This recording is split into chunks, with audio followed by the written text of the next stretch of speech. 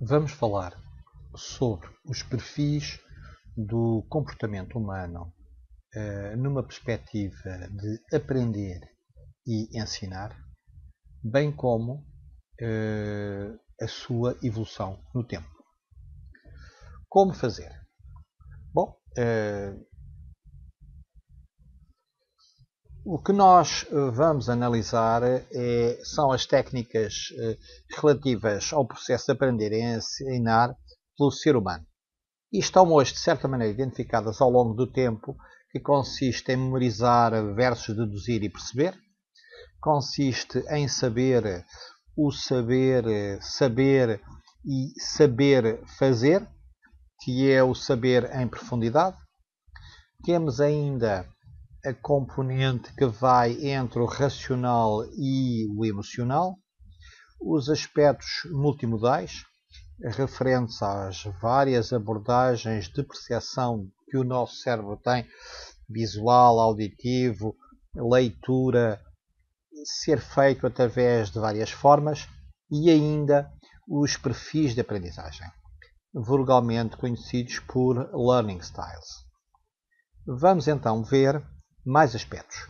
A transmissão de conhecimentos ser feita através de transmitir o conhecimento, reflexão, interatividade, interatividade e, enfim, mais da memória de curto prazo à memória de longo prazo. Isto é, memória de trabalho e como é que nós memorizamos sob o ponto de vista neurofisiológico. Como ultrapassar aquilo que está hoje definido como a barreira dos 50-50 que vamos caracterizá-la e a aprendizagem nas diferentes fases do ciclo. Isto é, quando nós começamos a fazer a aprendizagem, ela vai se fazendo de formas diferentes em função do momento em que estamos. Se estamos no momento de introdução ou num momento de maturidade, já em relação ao mesmo tema. E, finalmente, a evolução das várias abordagens, desde o behaviorismo ao construtivismo. Os vários processos têm sido seguidos. Antes de mais, gostava de vos convidar a fazer uma viagem do tempo para ver como é que ao longo de várias eh, décadas, dos séculos, se processou a aprendizagem. E posso dizer que, recuando no tempo, cerca de 20 mil anos, o que nós vamos encontrar ou confrontar-nos é com o homem primitivo, onde a aprendizagem se fazia no contexto ou da família, ou do clã, ou através dos druidas, dos xamãs e respectivos sacerdotes. A aprendizagem era meramente indutiva e intuitiva face aos fenómenos que nos envolviam. Não havia um processo escolar e sistemático de ensinar e, obviamente, de aprender. A aprendizagem era feita por aqueles que nos envolviam. Houve uma mudança em que o conhecimento e o ensino foi associado aos locais de culto. Eram, portanto, nos templos que se verificava em toda a antiguidade.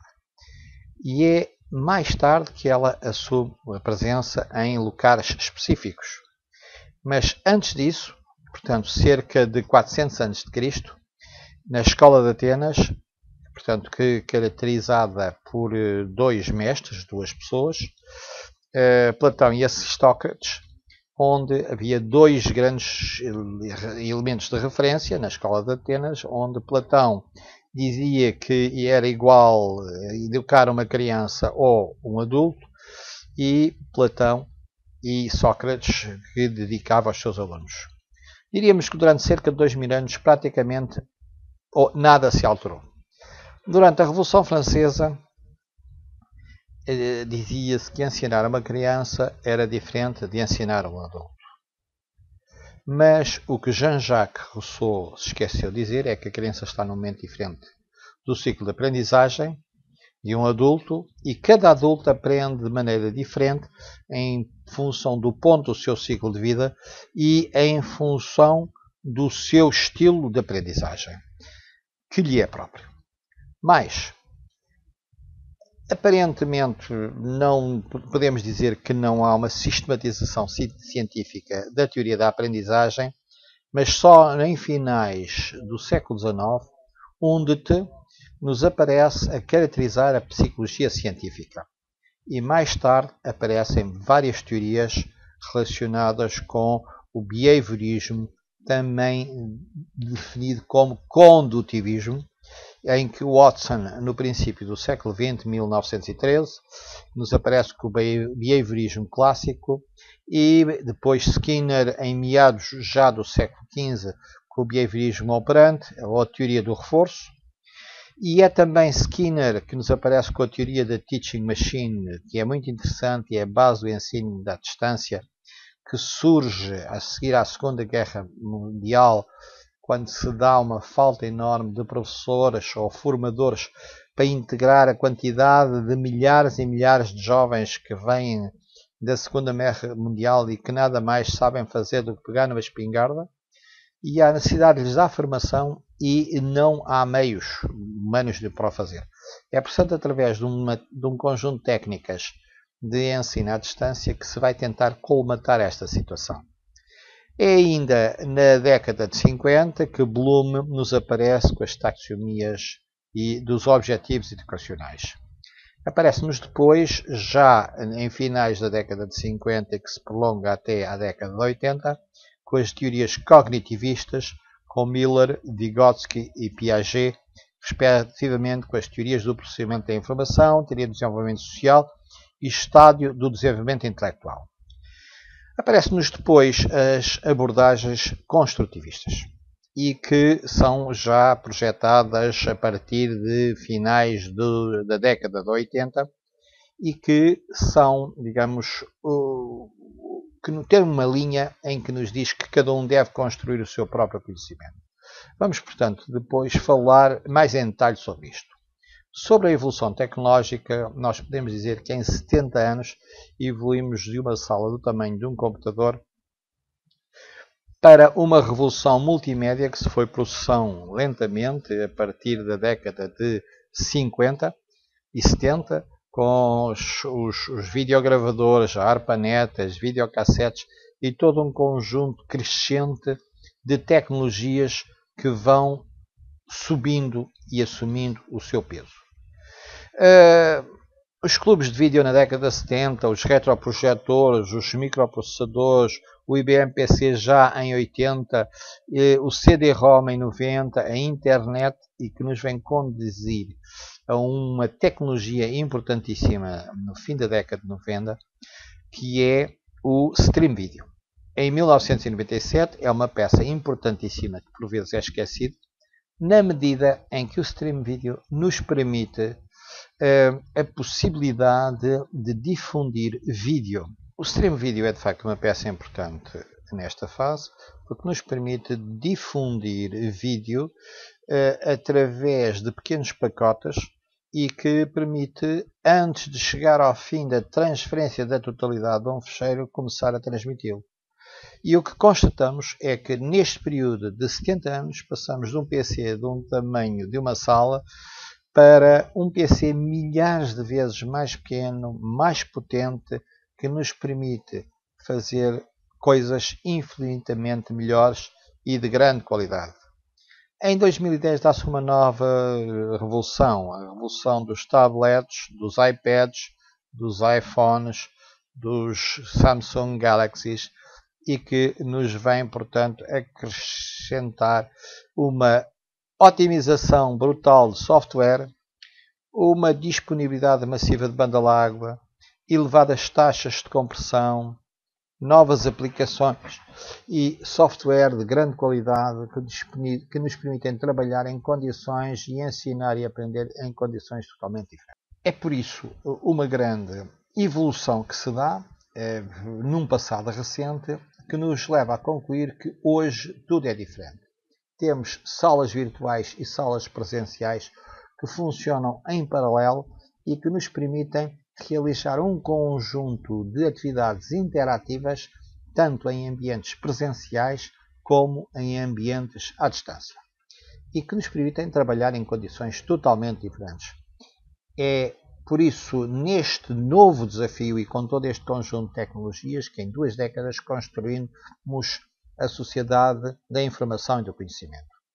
Evoluímos, portanto, de um behaviorismo ou construtivismo em que muita gente pensa que a partir deste momento cada um tem que fazer totalmente a sua autoformação e descobrir o seu próprio conhecimento. É, há um lapso. É, este lapso é que o construtivismo tem três fases importantes. A primeira será a definição de regras e moldagem, que caracteriza em todos os contextos, desde o bebê quando sai da maternidade, que é preciso imediato começar a definir regras e a respectiva moldagem, e a partir daí, quer isso seja na nossa sala de aula ou qualquer outro contexto de aprendizagem, é importantíssimo definir regras, processos de moldagem e que se segue depois um processo de aprendizagem e treino e, por fim, devemos nós motivar os nossos formandos a construir o seu próprio conhecimento e onde nós lhe proporcionamos guia e processos de autoformação. Portanto, o behaviorismo é caracterizado por Fundestanding, em 1998, como uma teoria de aprendizagem animal e humana que se centra em comportamentos observáveis e ignora as atividades mentais. Portanto, noutra perspectiva, Biner vem-nos dizer que no modelo condutivista os indivíduos reagem reflexivamente ao ambiente os processos cognitivos são ignorados e certas respostas podem ser condicionadas, reforçando o comportamento desejado com estímulos.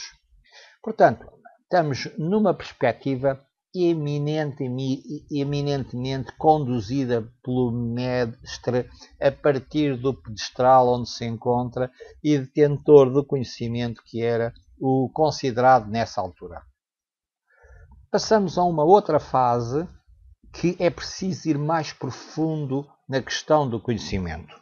Estamos, portanto, uma abordagem cognitivista que se baseia nos processos mentais subjacentes ao conhecimento, onde as mudanças no comportamento são observadas e utilizadas como indicadores do que está a acontecer na mente do aprendiz e que é-nos caracterizado por Schumann em finais do século XX.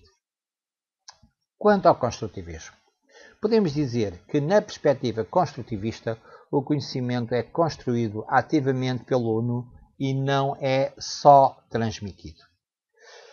Mais ainda, a aprendizagem é simultaneamente um processo ativo e reflexivo.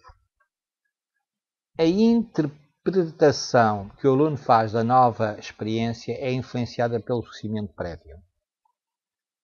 Reparem que esta fase é importantíssima porque, afinal, há eh, qualquer aprendizagem, há um conhecimento que vai sendo adicionado de forma reflexiva e crítica. A integração social induz perspectivas múltiplas na aprendizagem. E a aprendizagem requer a compreensão do todo, assim como tomo das partes, e estas deverão ser entendidas num contexto isto é, dá-nos uma visagem extremamente interessante que é feita por Jorge Lima e Zélia Capitão, que no seu livro E-Learning e Conteúdos apresenta uma síntese dos trabalhos de Schumann, Binner, Susskind e Reynolds. E eh, que nos dão, portanto, uma visão muito realista e muito atual daquilo que se pode definir como construtivismo e não uma mera uh, aprendizagem um, ehm, autónoma um, ehm, do aluno. Isto vem, portanto, alterar os aspectos dos paradigmas relativos àquele qual é o papel do professor, que numa perspectiva behaviorista era meramente o centro do conhecimento e o transmissor do conhecimento, enquanto que numa abordagem construtivista o professor é muito mais um guia, um auxiliador, um facilitador da aprendizagem, um integrador de experiências reais com contextos relevantes eh, numa perspectiva global e sistémica, ensina a pesquisar, a selecionar, estabelecer relações, sintetizar e aplicar informação, motivar e despertar curiosidades, no fundo, ser um verdadeiro guia de um processo. Promover o trabalho de grupo e em grupo, desenvolver o espírito crítico, estimular o rigor intelectual e desenvolver a capacidade de autoestudo. Estamos, portanto, perante dois perfis comportamentais totalmente diferentes do docente. Enquanto, por um lado, o docente é o mestre que, de forma magistral, transmite o conhecimento, enquanto que, por outro lado, ele é muito mais um guia e um orientador. Também muda o papel do aluno.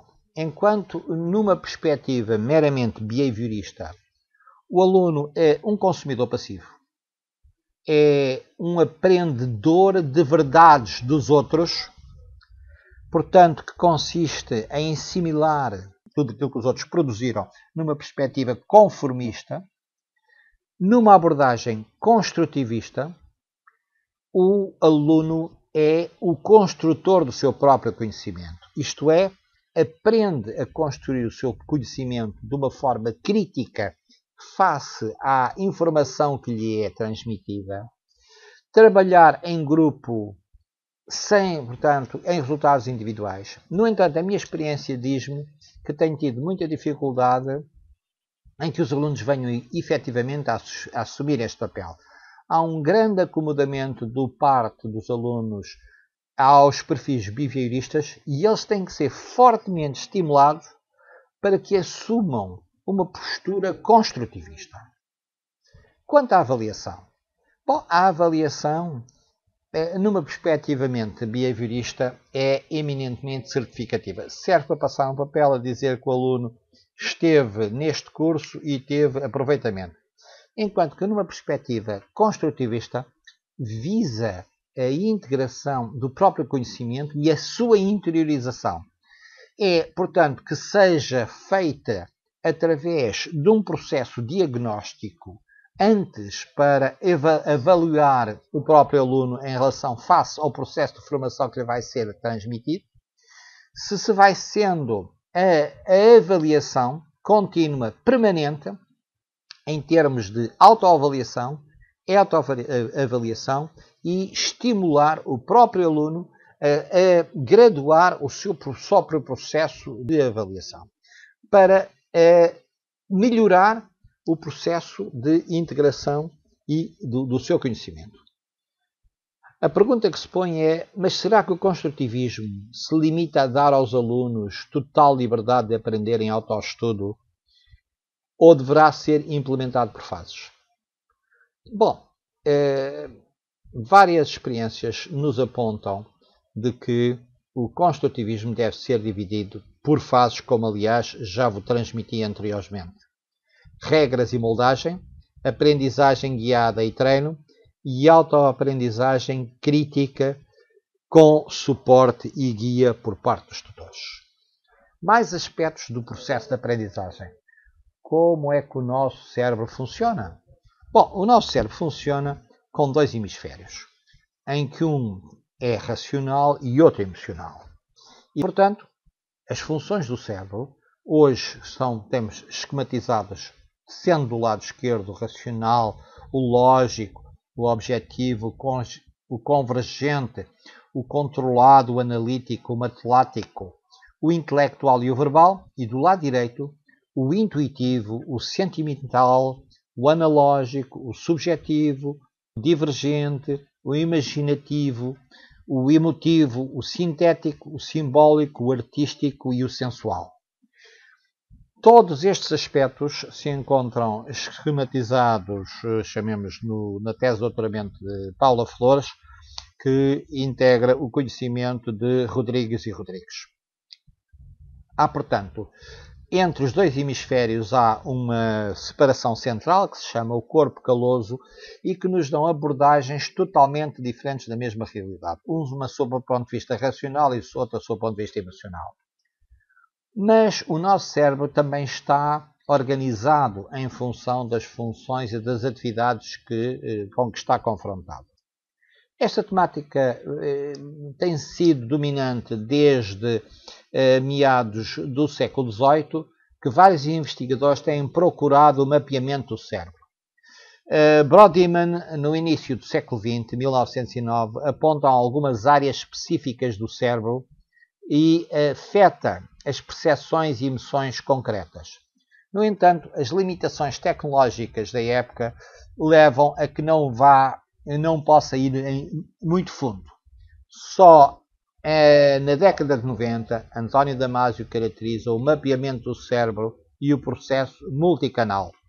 Portanto, esta temática é muito importante porque há zonas do cérebro que são afetas à visão, à, compreensão auditiva, à audição, à fala, etc. E, portanto, e que é através das várias áreas do cérebro que nós nos vamos eh, percepcionando, cruzando, portanto, com a pressão de cada um dos hemisférios emocional e racional. Temos ainda a verificar que ao longo do tempo as diferentes culturas sempre recorreu a conteúdos pitográficos para transmitir informação e conhecimento. Mas António Damasio diz-nos que ninguém negará certamente que o pensamento inclui palavras e símbolos, mas o que essa afirmação não dá conta é o facto de tanto as palavras como outros símbolos serem baseados em representações topograficamente organizadas e serem elas próprias imagens. Isto é, cada um destes aspectos está associado a uma fase ou uma área do cérebro onde elas são, chamemos, registadas e memorizadas. Quer elas sejam sob a forma auditiva, visual ou de outra forma.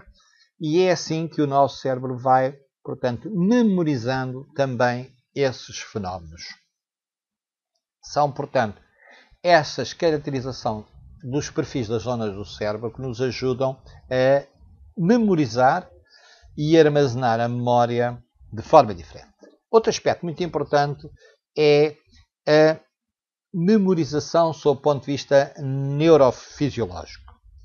E foi um assunto que foi tratado pelo professor Alcino Silva da Universidade de Los Angeles, que é um português que trabalha e investiga nesta universidade e que nos descreve detalhadamente como é que isto se processa.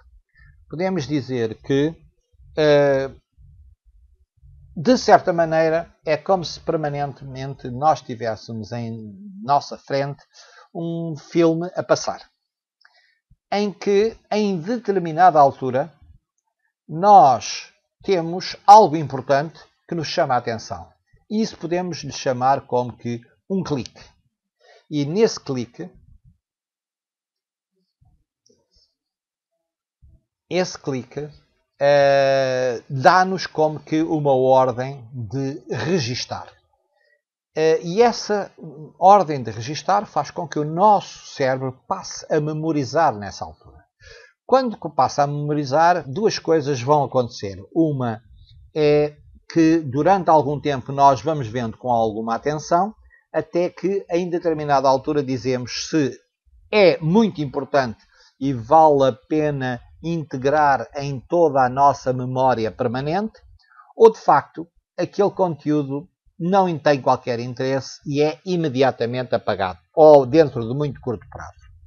Ao integrar na memória de longo prazo ou memória permanente, ela uh, implica a reformatação ou a reorganização de toda a memorização que nós temos anteriormente.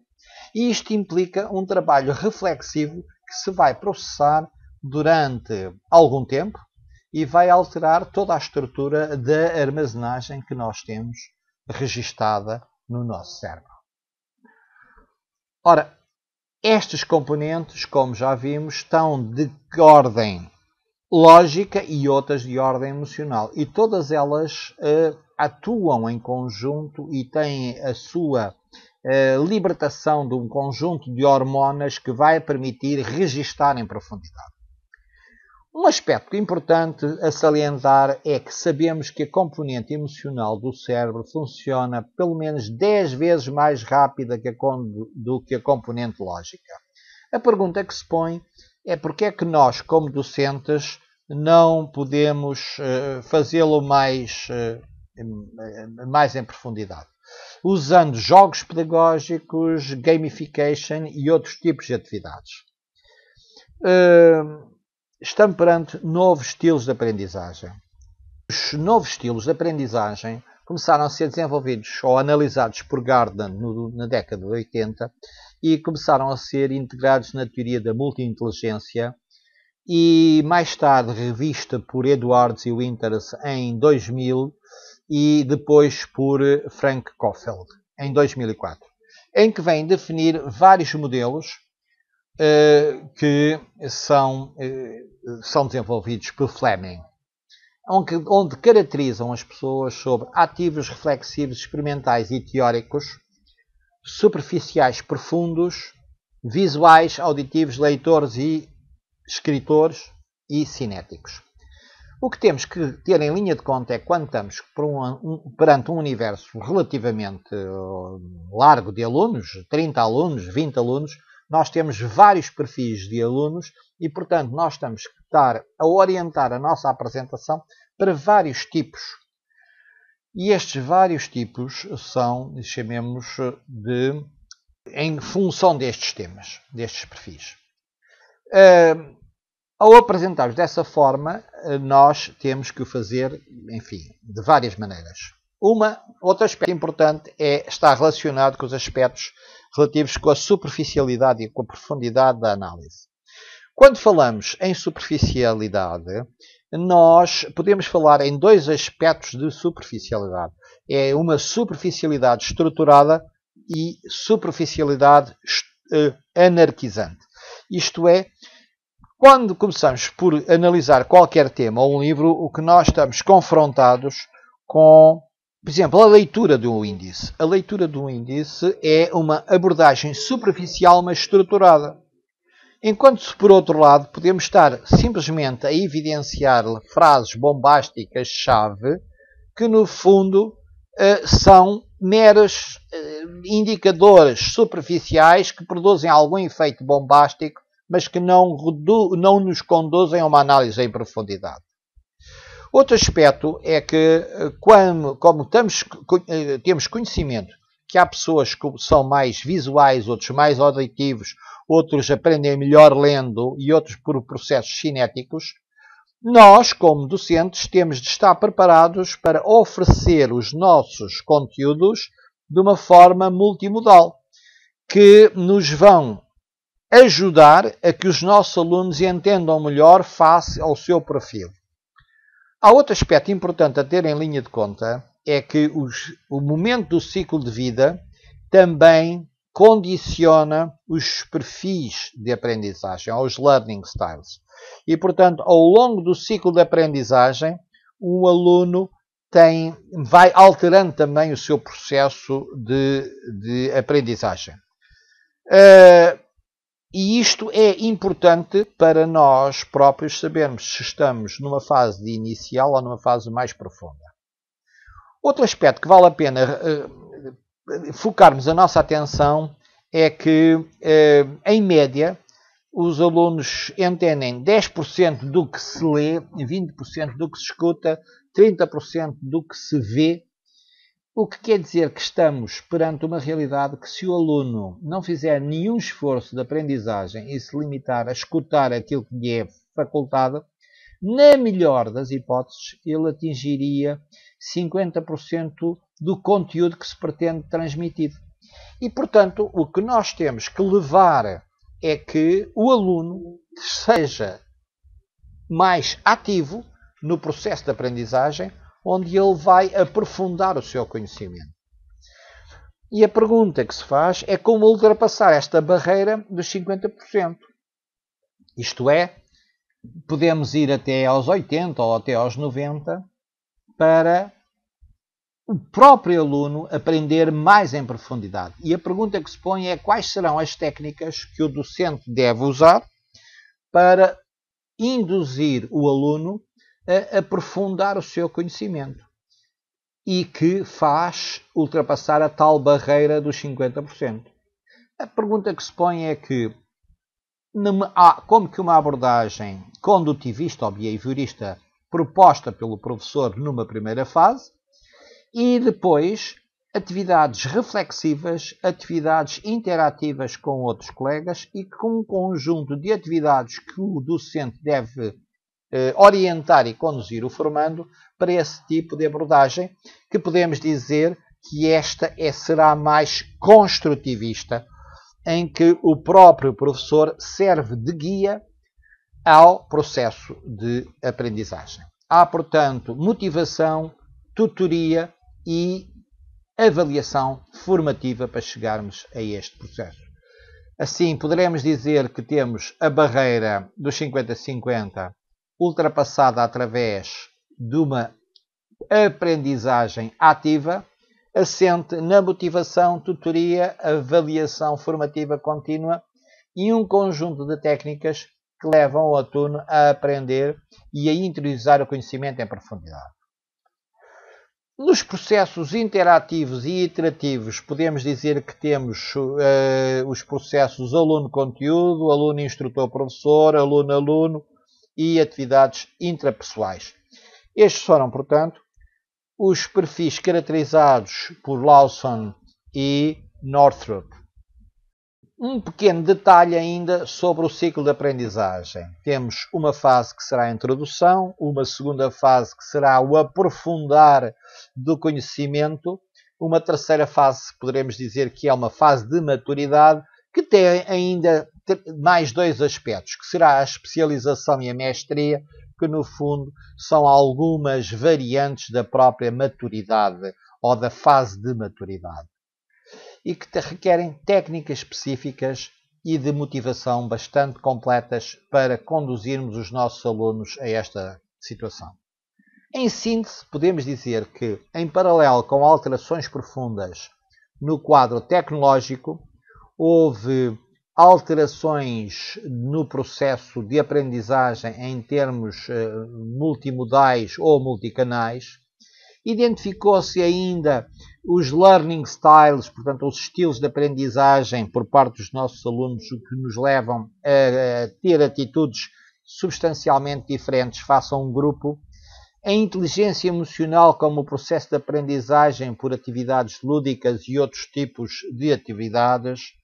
E ainda o, eh, portanto, a interatividade e reflexão, a caracterização do processo de aprendizagem no cérebro humano sob o ponto de vista uh, neo, portanto, neo, neurofisiológico e que nos leva a um conjunto de reflexões que nos dizem que hoje não há uma diferença diametral, como se pensava há uns anos atrás, entre o ensino presencial e o ensino à distância, que Rosenberg nos dizia já passaram há mais de 10 anos que num futuro próximo acontecerá uma mudança mais radical do que, será o fim do I no e-learning. Portanto, tudo hoje é só learning. E a pergunta que se põe a seguir é o que se passou ou o que se tem passado com os nossos alunos. Diríamos que a média dos nossos alunos que terminam o secundário gastam milhares de horas na utilização de jogos de vídeo, telefones móveis, a ver televisões, são cada vez mais, portanto, hum, cada vez mais eh, aprendizes digitais que requerem novas tecnologias e novos métodos de trabalho. Hoje eh, estão estudos efetuados que nos dizem que 21% dos alunos que concluem os cursos consideram que são interessantes. Quer dizer que 79% acham que não têm interesse aquilo que fizeram e ainda que nos dizem que cerca de 39% acham que o trabalho escolar poderá ter algum interesse. Isto é, quer dizer, 61% acham, acham que aquilo que estiveram a fazer nas escolas pouco ou nada lhes vai servir para a vida prática. Ora bem, a questão fundamental será o que é que nós podemos fazer para melhorar as nossas técnicas de ensino, para melhorar os nossos métodos, para encontrar novos processos de ensinar com vista a obter melhores resultados, ou melhor, que os nossos alunos obtenham melhores resultados em termos de aprendizagem. Fica aqui um tema de reflexão para um próximo trabalho a desenvolver.